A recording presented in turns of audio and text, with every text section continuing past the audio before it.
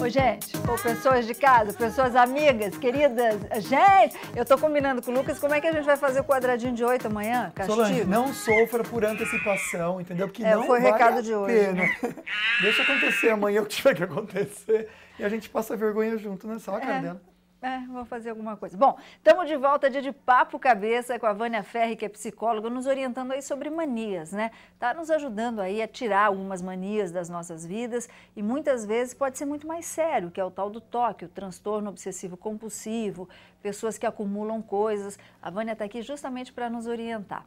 Agora tem as curiosidades, né, Luquinha? Com certeza, Sol. Aqui você fica por dentro de tudo que é curiosidade no dia de hoje.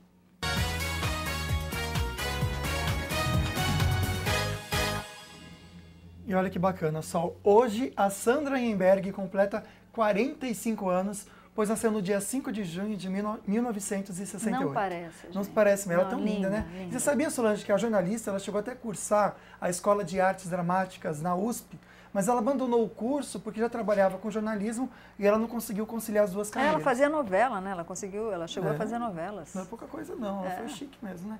E hoje é dia dos animais, Ah, Solange. e você sabe que foi uma data inserida pela Igreja Católica?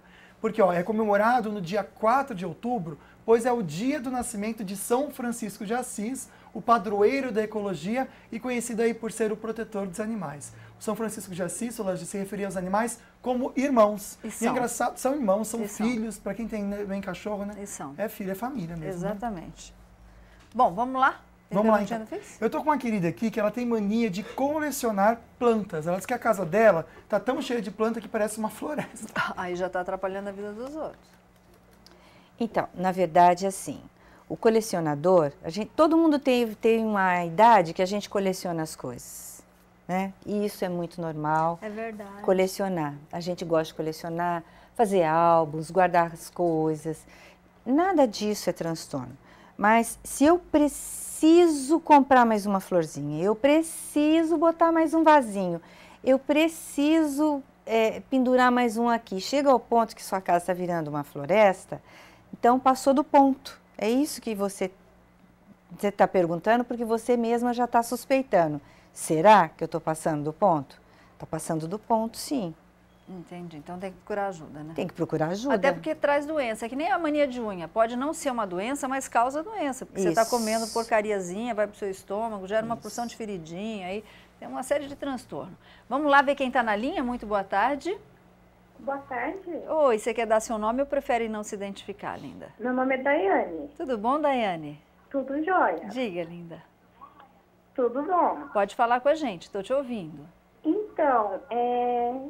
Tá me ouvindo certinho? Tô, tá perfeito. É que você tá com a televisão alta. Por isso que Ah, você tá. não tá se ouvindo. Isso.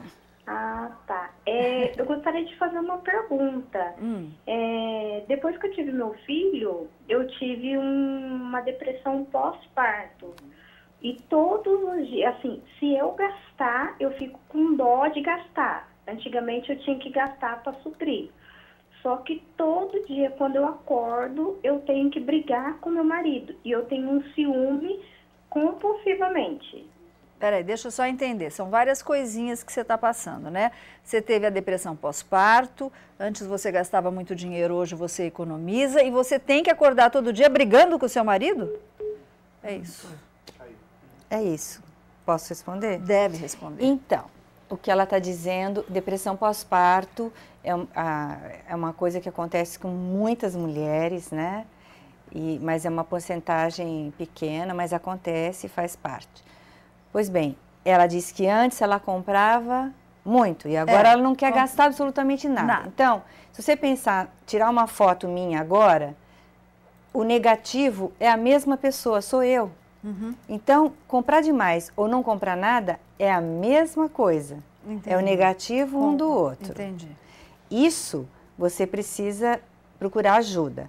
Quanto ao ciúmes compulsivo, aí você não, não deu tempo, a gente não ouviu o que é, mas compulsão é uma. é- é- não tenho controle do que eu estou fazendo. Agora, esse negócio de brigar com o marido todo dia de manhã, Mas o que será que você sonhou, né?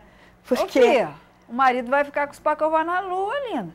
Pode brigar com o marido de manhã, tem que dar beijinho no marido, né, Pedro Mariano? Pode Bom brigar. dia, amor. Bom dia, né? Um ótimo dia, essas coisas.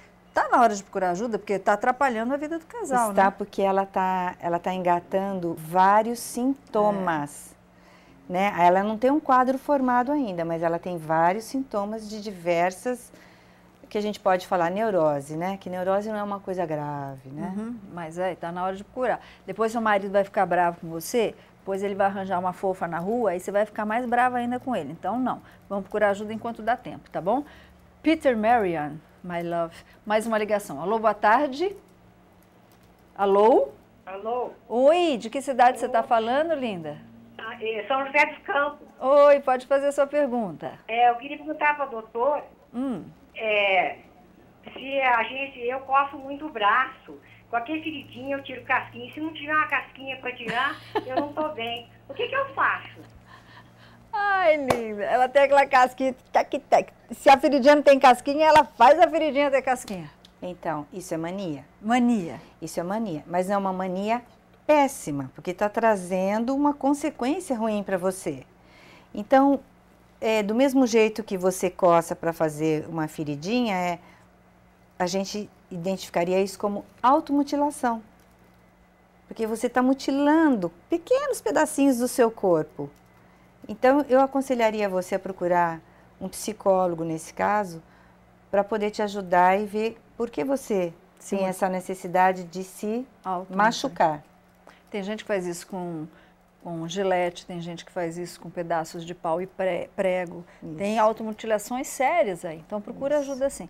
Luquinha, eu acho que eu vou abrir espaço. Dá tempo de mais uma perguntinha? Dá sim. Então vamos Eu lá. tô com uma querida aqui que diz que compra muito alimento que ela sabe que não vai consumir, mas ela tem medo de, de repente, sei lá, acabar o mundo e ela acaba guardando esse alimento. Olha. Isso é uma mania? Não, isso já passou, porque isso é, uma, é mais que uma compulsão. Porque tem um pensamento negativo que nós comentamos. O mundo pode acabar e para eu não deixar que isso aconteça, na, eu não acabar para mim, o mundo não vai acabar para mim. Estou me prevenindo. Eu estou me prevenindo e comprando e comprando e comprando. Então juntou a obsessão com a compulsão. Aí já se torna o transtorno. Ajuda. Procurar ajuda. Ajuda psiquiátrica. Geralmente, é só para encerrar, os tratamentos são tratamentos orais, medicamentosos, terapia. Sempre quando for transtorno Ah. obsessivo compulsivo, primeiro psiquiatra com acompanhamento do psicólogo. A medicação é necessária. Mania que você quer se livrar dela porque é, caracteriza uma ansiedade, o psicólogo ajuda. Psicólogo ajuda. Ok, então. Ai, Vânia, amei a participação. Muito obrigada aí. que Quero você volta muitas vezes, viu? Eu agradeço, adorei, pode me chamar. E obrigada. assiste amanhã o quadradinho de hoje. O quadradinho amanhã não perco. Eu vou contar um negócio pra você. Eu já pensei que eu tinha que visto Solange, tudo na minha vida. Eu, Não vi. queria eu tô, tô com uma dor de garganta horrível, sabe? Você tá? Você não vai vir Eu amanhã? acho que eu não vou conseguir, Engraçado, eu também. Traz o atestado, você vai ver onde eu vou enfiar o atestado. Faço um bagunço aqui com você. Quem ganhou, Luquinha? Bom, Solange, nós tivemos hoje uma sortuda que vai levar camiseta e também um par de convites para conferir o Real Fight e também W e um Hair Brasil com cabelo, que seja corte de cabelo, escova e também as unhas das mãos. Olha que legal. Foi a Denise Brito, parabéns a Denise, obrigado pelo seu carinho. Um beijo para todos aqui que estão mandando pra gente é, congratulações, porque a gente chegou aos 5 mil. Beijo para vocês no coração. Isso aqui é conquista de vocês, não é verdade, É, Solange? geralmente é, é- é o que a gente fala todos os dias, né? A gente aprende com vocês. Muito obrigada. Bom, amanhã, quinta-feira, a gente vai estar de volta e a gente vai estar falando sobre o câncer de mama. Essa história da Angelina Jolie assustou muitas mulheres. Devo ou não retirar a minha mama se eu tiver alguém na família com histórico? A gente vai te orientar amanhã. E sabia que os homens também têm câncer de mama, Luquinha? Não sabia não, só. É, a gente vai aprender juntinho. Fiquem com Deus. Até lá. Tchau, tchau.